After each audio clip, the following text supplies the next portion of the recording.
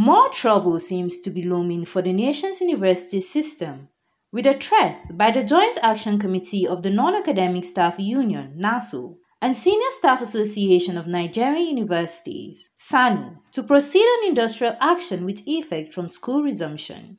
Addressing a news conference after its Joint Action Committee meeting in Abuja, National President of SSANU, Comrade Samson Ugwoke, who spoke on behalf of the committee, cited the challenges their members are presently facing since the decision to enroll into the Integrated Payroll and Personnel Information System and other sundry yet to be implemented agreements as reasons for the decision. Ugwoke said several letters by the union for resolution of the issues have not been successful.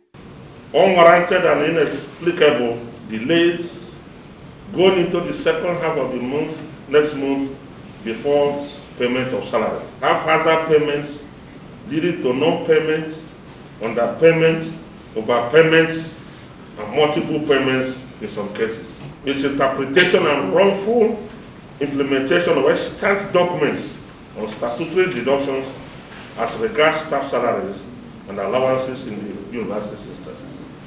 Paying all the arrears of end allowances national minimum wage, among all the other issues highlighted above.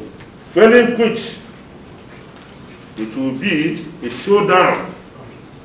I repeat, a showdown in the university system, effective from, the, from when universities will be directed to reopen for activities after COVID-19 lockdown.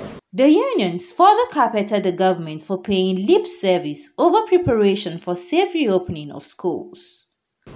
While we acknowledge that reopening of schools is becoming inevitable, we note that government has not done anything to actualize safe reopening. And for the parents and students, it will be a case of to attend to Israel. It is expected that the nation's university system will further cripple if the unions go ahead with their threat, especially as their counterparts, the Academic Staff Union of Universities, ASUU, are presently on strike. CNN News